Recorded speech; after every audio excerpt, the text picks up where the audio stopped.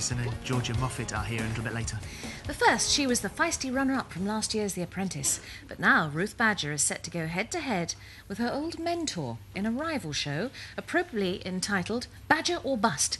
And it seems that, like Sir Alan, she's not prepared to take prisoners. Today, things change. Ruth's rules. I'm now going to tell you what's going to happen. There's certain things that are going wrong with this business that I'm going to put right. And it starts, number one, with staff. We've been doing undercover calling, and I can tell you that I've been in a lot of companies, and your calls are some of the worst that I've heard. No way, shape, or form at any point did anybody in the room build that dream. Never, ever did you say, Oh, your best friend's getting married? Fantastic. Where do you want to go? Don't worry, we're going to give you the weekend of your life. I don't want to speak to a plank-wood who's got no personality. That told him. Wow, well done, Ruth. Now, this is called Badger or Bust. It yes. starts next Tuesday on Sky One, 9 o'clock. o'clock. It's 10 o'clock. Oh, 10 o'clock. Oh, yes. I'll make a note there, 10 o'clock. there we go. But congratulations. How fantastic to get your own show. Well, it sounds better than it is because it was a lot of hard work. And to go into six different businesses that were all different. I mean, the show's called Badger or Bust, but it's not just companies that are going out of business. Mm. It's even worse than that. It's companies that are not utilising all their skills and actually losing money where they could be making a fortune. Mm. So I dealt with politics, I dealt with attitudes, I dealt with all male companies who actually said that their sales expert, because they didn't know who was going into the business, he had better be more experienced than them and have more sort of sales training than they'd ever had. So when I turned up, and I was probably 20 years younger than them, and obviously a woman, they had one hell of a shock. I bet they did. Wasn't there one called Chris in the yes. conservatory doors and windows business? Yeah, he was. Um, there's, there's one clip in the show where he drives off because he's going on holiday, and he says the nightmare's over, and then when I turn up on his last day, he gets a bit of a shock. but it was a really rewarding experience, and for me, it was great because I think the the apprentice showed me as the saleswoman. Mm. Badger or Bust does actually demonstrate the business sort of ability that I've so got. So, how, how, easy when you look at a company like that? Yeah. Uh, how easy is it making a few tweaks here and there to turn turn it round? Well, to be honest, business is for me, business is very very simple because I take the opposite approach to most people. I'm not interested in the paper and the figures as such. I'm interested in what's actually done. Now, the doers and the thinkers are completely different, and the majority of these businesses, people talk a lot, but they don't actually do a lot. So what I do is I go in and I ask the same question for about 10 people and every single one of them gives a different answer. And the scary thing was the MDs of these companies they didn't have the finger on the pulse. They didn't know what was going on. So I went in there and basically got right down with the core staff, found out what was going on, highlighted really three problems that I could address. Because don't forget, I've only got eight days. Mm. You know, some of these businesses owed 300 grand and they've got to pay them back within six weeks, otherwise they'd go bust.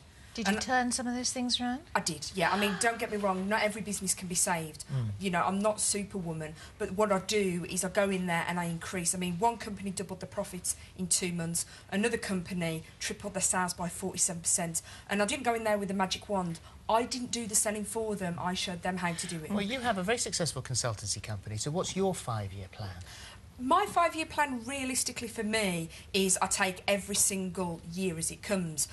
I focus on improving productivity and profitability, but ultimately, for me, it's happiness. And I know that may sound really cheesy. And serious amounts of money? Yes. Financial stability for me and my family.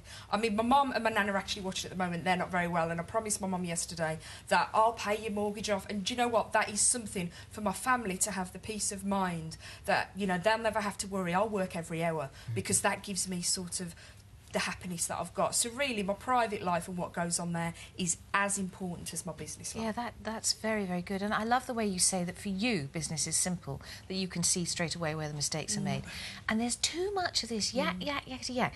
When we watch The Apprentice, I'm sure you're watching this this news series as well. Yeah. They're all busy doing all this company yeah. nonsense speak, and you think, stop it, talk normally, which Sir Alan is very good at. But he just cuts successful. it. If you actually look, I mean, I left school with three GCSEs, and it's never stopped me. But the difference between me and some of the business people, not all of them, is the fact that while they're talking and everybody can sort of be hypothetical, we can all say this may happen and that may happen. We'll actually go out and do it because I've learned through life that it's the decisions you don't make that you regret, not the ones you do. Exactly. Because my parents said to me when I was very young, if you make decisions and they go well, you get the benefit. If they go wrong, you learn. And business is about that. But I think an entrepreneur will actually make those risks. And the good things, I mean, I'm very, very for small companies in this country because I don't actually think anybody really focuses on them. And that's what my business does. Small, medium enterprises where they're not turning over 20 million, for me, are the heart of Britain. You know, it's the heart of Britain. What do you. What do you think about the, the current series of uh, The Apprentice? Well, you it's think quite, Tre? Well, it's interesting because somebody um, interviewed me yesterday morning and took everything out of context with him. What Tre actually says is very good. If you listen to him, the content of what he's saying is good. Sometimes the way that he puts it across is for me too aggressive. I don't swear, he does. But the one thing I would actually say is this time last year, I was suffering like the apprentices are this year. So, you know, when people say I don't like him, people shouldn't take it personally. It's just the fact that the way they're being portrayed on television is not what they're like. I mean, I'm not as aggressive as everybody makes out. My God, I'm assertive. And in business, I know what I want and I go for it. But I'm certainly not aggressive and in your face. It's not the way that I Do am. you still keep in contact with Sir Alan? Um, yes, I text Sir Alan yesterday. Did you? Yeah, on the train on the way down. Yes. Sending him a little bit of help and Why? information. Why did I text him? Because somebody interviewed me and they took everything out of context. And I Oh, was I just see. like, oh, and he actually said, Ruth, you should know better by now. And I went, I know, I know, I'm sorry. But, you know, Sir Alan said to me that if I ever needed anything, he'd always be there. And to be fair, he's always been very supportive of me. I love The Apprentice. He is absolutely hilarious. And what he does is he speaks very, very clearly. Mm. And he just points out the obvious. And again, does. that's what you need to do. Well, he's Yes. not going to help you today. That's for sure.